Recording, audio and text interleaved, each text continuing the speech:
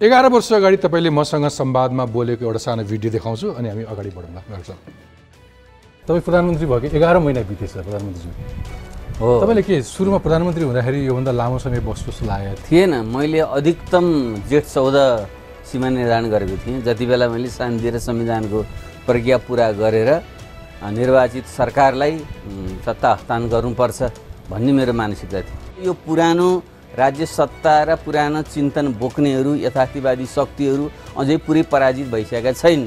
त्यसले विभिन्न ढङ्गे राज्यका अङ्गहरूमा आफ्नो पकड जमाइरहेका छन् र परिवर्तनका ती बाधक बनेका छन्। परिवर्तन पुरा भएको छैन भन्ने कुराको यो प्रमाण हो। त्यसैले पनि हामी के भन्न चाहन्छौँ भने यो परिवर्तनको प्रक्रियालाई पुरा नभएसम्म र आर्थिक सामाजिक रूपान्तरणको प्रक्रियालाई पुरा नगरेसम्म यी समस्या रातारात समाधान हुँदैन।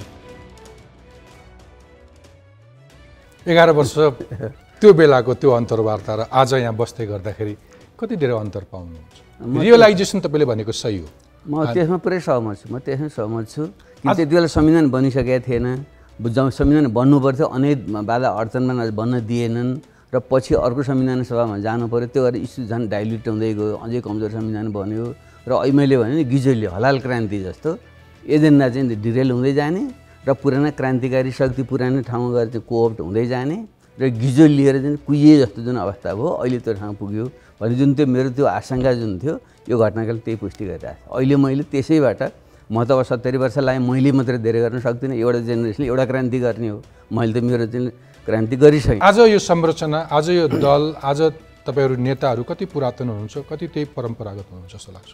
अब व्यक्ति व्यक्तिकै हिसाबले भने सबैलाई नजोड्नु म चाहिँ नयाँ बनेर नयाँ पुस्तालाई एउटा नयाँ बाटो देखाउँ भन्नेमा छु अरू विषयमा अरू नेता साथीहरूले भन्ने कुरा हो।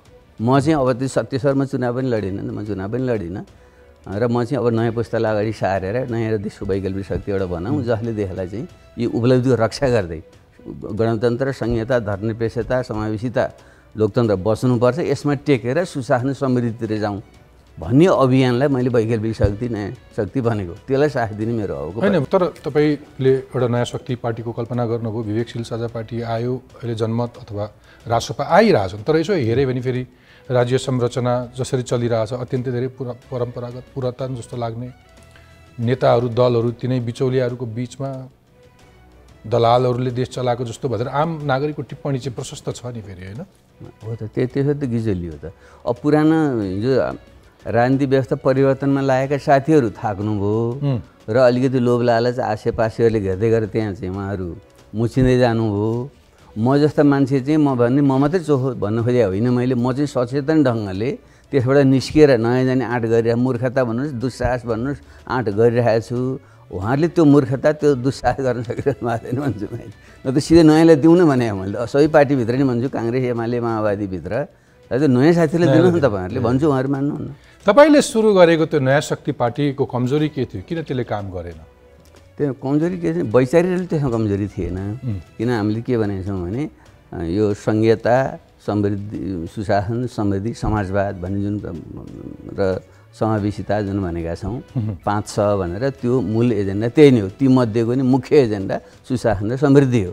त्यसैलाई नै वैचारिक ढङ्गले समावेशी र सहभागितामूलक लोकतन्त्र सहितको समाजवाद भनेको हिजोको साम्यवाद पनि होइन हिजोको पुँजीवाद पनि होइन। त्योभन्दा अगाडि बढेको चाहिँ समाजवाद उन्मुख लोकतान्त्रिक व्यवस्था हो भने यो ओरिएन्टेसन ठिक छ भन्छु मैले नेपालको निम्ति किन जुन हाम्रो जटिल भू राजनीति विश्व बदलीको परिस्थिति तर त्यहाँ अगाडि जानले त्यही अनुसार एउटा जुन क्रिटिकल मास चाहिन्छ नि त्यो मैले भन्नु सकिनँ। मेरो अलिकति लिबरल खालको स्वभाव। त्यो नयाँ शक्तिको जुन इन्जिनियरिङ गर्नुभयो त्यो कन्सेप्ट त्यो इन्जिनियरिङ चाहिँ मैले गरेँ तर त्यो लाभ चाहिँ अरू कसैले लियो भन्ने लाभ पनि लियो म भन्दिनँ म त खुसी नै हुन्थेँ। लाभ पनि लिन सक्नु भएन। इन्जिनियरिङ मैले जुन गरेँ त्यो ठिक छ भन्छु मैले अहिले।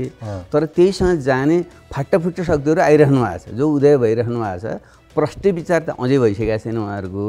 तैपनि अब कम त्यो दिशा अब नयाँ विकल्पतिर चाहिन्छ है। भन्ने जुन सोचाइ बढेर गएको छ जनताले पनि त्यस्ता नयाँलाई जुन प्रोत्साहित दिइरहेको छ। ती त्यो उदय राम्रो ठान्छु ती उदय भएका शक्ति र तपाईँले बनाउन खोजेको नयाँ शक्तिको बिचमा के अन्तर छ? होइन त्यो त्यही त्यही बिउ उम्रिया हो भन्छु मैले। त्यही नयाँ शक्तिकै बिउ विभिन्न रूपमा उम्रेको हो। उम्रेदेखि नापी तपाईँले उम्रँदैन। र भोलि गएर चाहिँ लाग्यो यो दुई चार वर्षभित्र वृहत एउटा चाहिँ ध्रुवीकरण चाहिँ हुन्छ र वैकल्पिक शक्तिहरू चाहिँ अब अग्रगामी वैकल्पिक शक्ति भन्छु मैले। कतिपय पश्चगामीले नि वैकल्पिक गर्न खोजेका छन्। पश्चगामी त वैकल्पिक त्यसको सम्भावना देख्नुहुन्छ। त्यो त्यो एउटा सशक्त एउटा वैकल्पिक शक्तिको उदयको सम्भावना बिल्कुल म त पुरै देख्छु। म त पुरै देखिरहेको छु आउँदो निर्वाचनसम्म। यदि कति स्थिर हुन्छ त्यो? कति दिगो हुन्छ? त्यो बनाउनु पर्छ नि। बनाएपछि हुन्छ नि त।